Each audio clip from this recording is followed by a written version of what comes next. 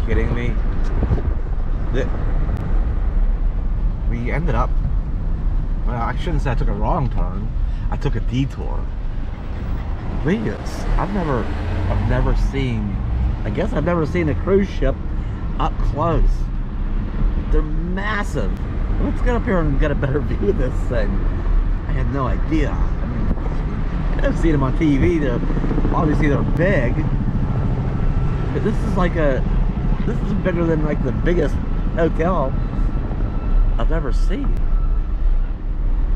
Are you kidding? MSC Seashore? How many floors are in on that thing? Um, I, I, think I don't think I'm supposed to go this way. Over there. There's no. I I can just stop here somewhere for a minute. Um. Crew. Uh, this is crew pick up and drop off parking here. I'm just gonna cheat right here for a second. That's. Oh my God! No way. You know what's up there? Hang on. Stay. You stay from it, girl. This is not. I don't know how many. I don't know how many, like living quarters, or or below. But above, there's one, two, three, four, five, six, seven, eight, nine, ten, eleven, twelve. There's 12 decks, and then the top. And from what I can see up top is, um, uh, well, there's like the navigation. This is where the pilot, you know, the captain is. But back here, there's some things like at a water park. I'm sure there's a big swimming pool and all that stuff up there. I've never seen one up close before. And there's another one way out there in the distance. I know that's hard to see with this camera. That's just crazy. That's that's just crazy. Wow. All right. I have no desire to go on a cruise. No. I think I've watched too many shipwreck movies. Oh, and I think that's the terminal. Yeah, it says on that building over there, it's the Disney, the Disney Cruise Line. Huh. So that this is a different terminal. The Disney boat must be out. Now I seen there was one over there, but it's kind of hidden because of parking garages and stuff. Yeah, that's, that's just crazy here's another one, and they they are hard to, hard to get a complete view of uh, this on the terminal here area anyway, because because parking garages. But they have this. Somebody's up there jogging, okay, jogging a big running track by the whole way around. A huge observation uh, deck up there. And big giant tall windows. That's this is. I don't know which one this is. It's a it's not near as big as the other one is, but still still massive. Yep, never seen them up this close before. Yeah, I don't just like the idea of being.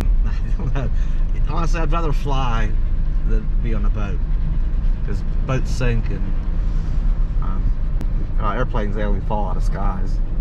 So there's that.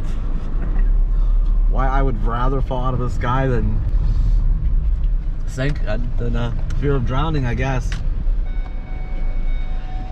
Alright, let's go on down the road here. I think I might know a place, new boondocking spot, possibly. Maybe it's just a day use area, but we're gonna go have a quick look at it. And where we are exactly, uh, all I can tell you is it's the Merritt, Merritt Island and Cape Canaveral, uh, part of Florida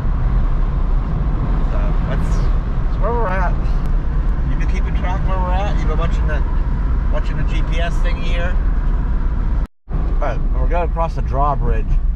I think this is where the ocean waters uh, right down there's like a lock and dam. So this bay uh, or inlet, we should have went around where all those used boats, all those boats are dry docked over there.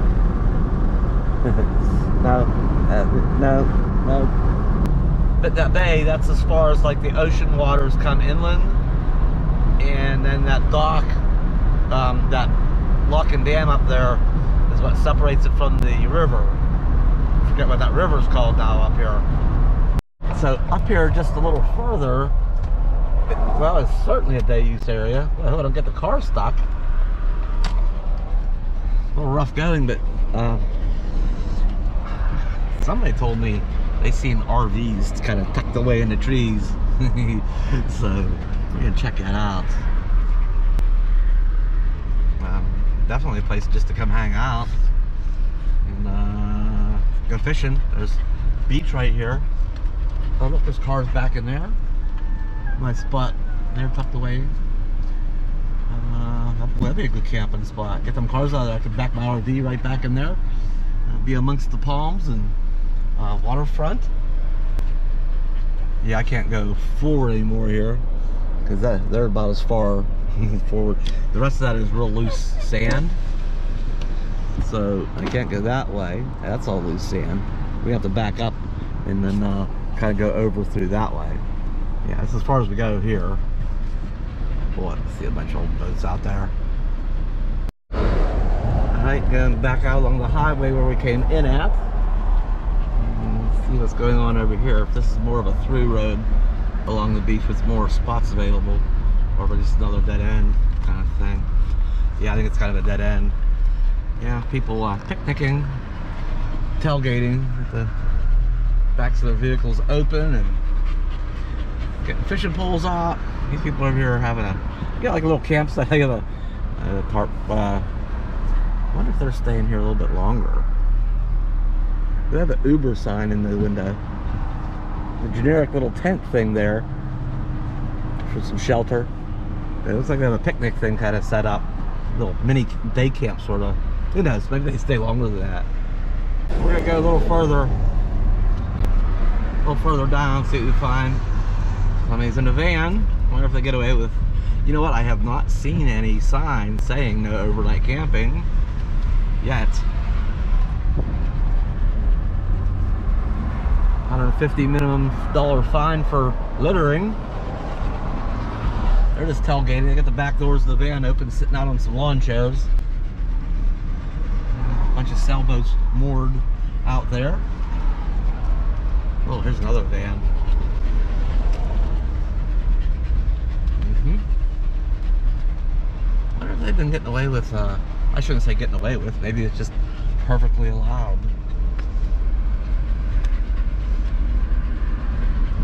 I guess if you got a fishing pole out, yeah, there is a technicality in some places. You're allowed to fish, oh, yeah, night fish. I guess if you got it, doesn't look like you're got camp set up if you're just um, ha happen to have your RV down here, but you got fishing stuff out. That can be the difference. Wonder if this goes under the bridge up here, because we're almost at a dead end. Doesn't.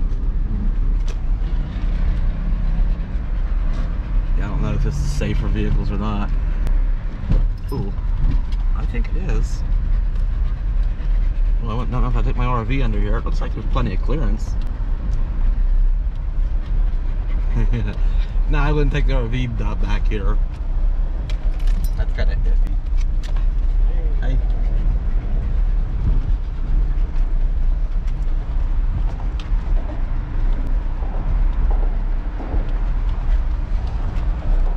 this is like truck territory. I'm just easing through here with the Fiesta. I think it gets better up around here. Boy, I can imagine in the RV, things in the things in the cupboards would be banging around. I think the clearance was high enough, but you'd have to come through this really bumpy area. Yeah, I think it's smooth again. There comes somebody on a jet ski.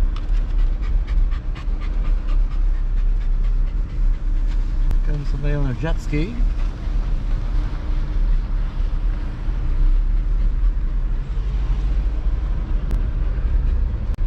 So once we go across the bridge, I think we have kind of the same exact thing on the other end.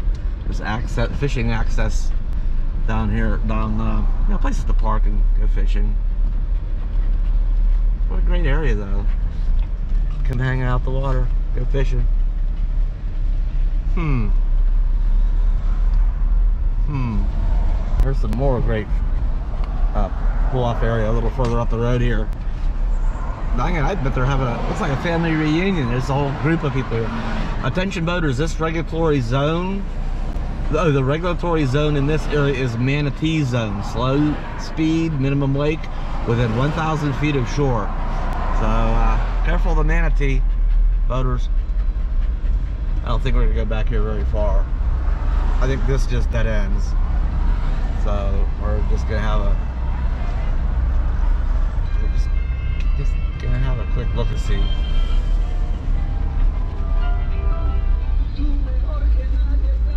Easy enough to uh, take kayaks or these wind sails, or whatever we call them, like uh, surfboards with sails.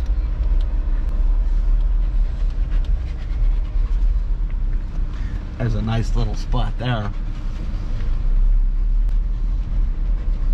And there's a nice little spot here. it's ours.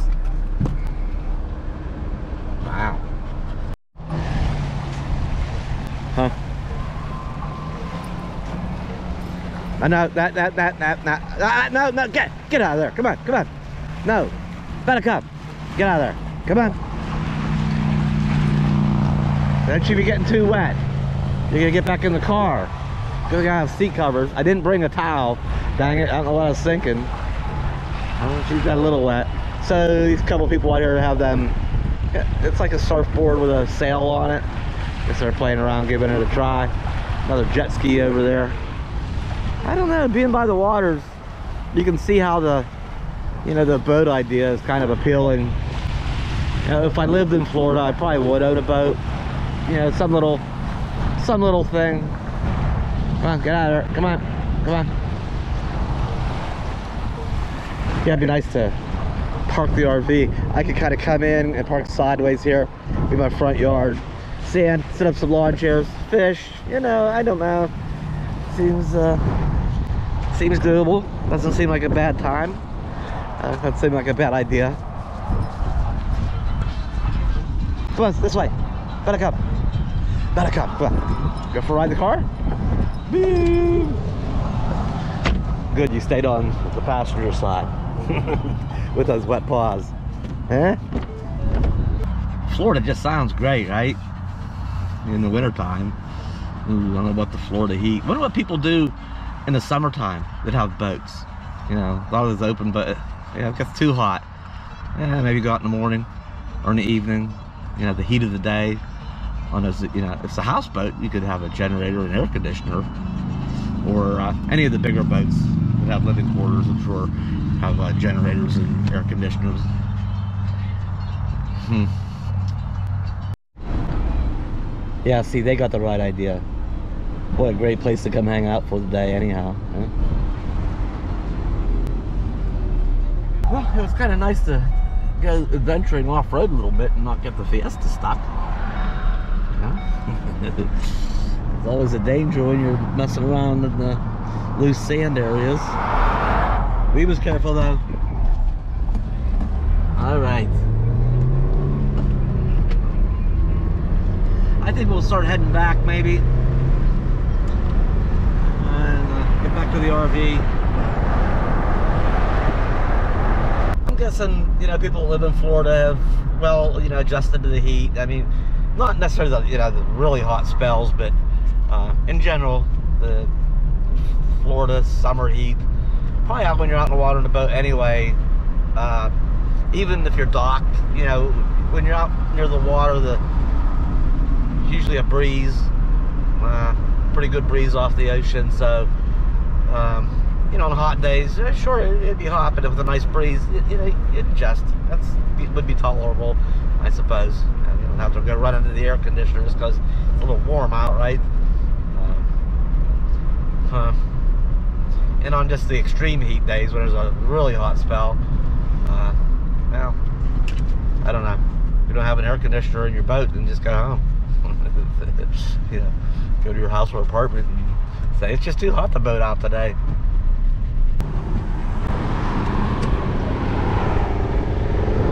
I'll tell you what, there is no shortage of rental places, like e-bike rentals and Uh, uh, there's Crackers Island Grill. Yeah, Beachside Grill. Uh, there's a place back there that said Prime Rib uh, Special. And it was just like a little, it was just like a little uh, place too. Little beach uh, bar and grills. There's uh, oh, I can just smell food in the air. Ah, I'm getting hungry. I'm getting hungry.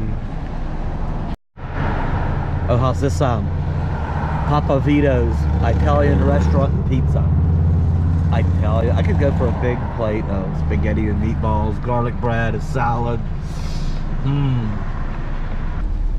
Look at this old Volvo sitting here. Just uh, had to stop and admire the classic old Volvo.